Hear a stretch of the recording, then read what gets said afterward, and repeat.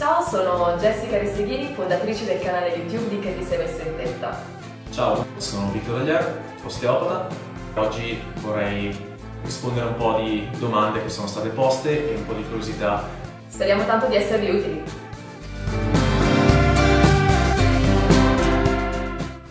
Victor, molti pazienti hanno problemi sulla mobilità. La mobilità la, la trovano, mi riferiscono, un po' bloccata. Cosa può fare l'osteopatia a riguardo?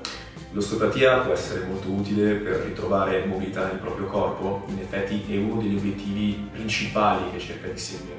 Ridare mobilità a ciò che il paziente lamenta o evidentemente dimostra di avere perso, range di mobilità. Nel vostro caso le persone che hanno avuto un intervento al seno spesso lamentano una ridotta mobilità della zona interessata, l'articolazione, dicono non si muove più come prima, allo stesso tempo lamentano paura nel movimento perché avvertono immediatamente del dolore. E questo è un ciclo vizioso di chiudere sempre di più l'articolazione e non muoverla, evitare il più possibile di provare dolore o di sperimentare se possono riottenere la stessa mobilità di prima.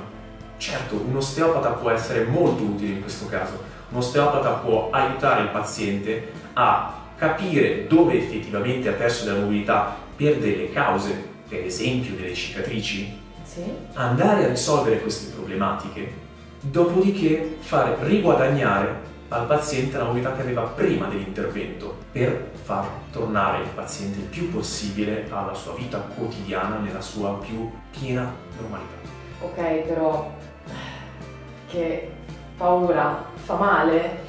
Allora, non si parla di un grosso dolore, non si Ok. parla di un grosso intervento in merito. È vero che ogni persona ha una sua soglia del dolore, ma non parliamo di trattamenti così invasivi.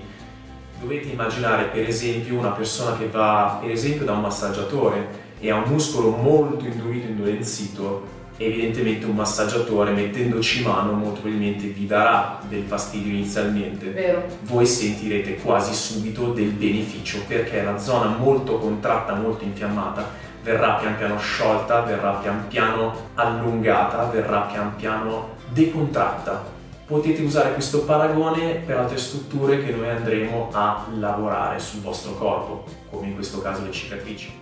Nessuno dice che non se ne avvertirete mai nulla, potrete probabilmente all'inizio soprattutto avere dei fastidi, Mhm. ma sono fastidi contenuti e lo scopo è piano piano risolverli, non averli più. Ok, grazie. Prego.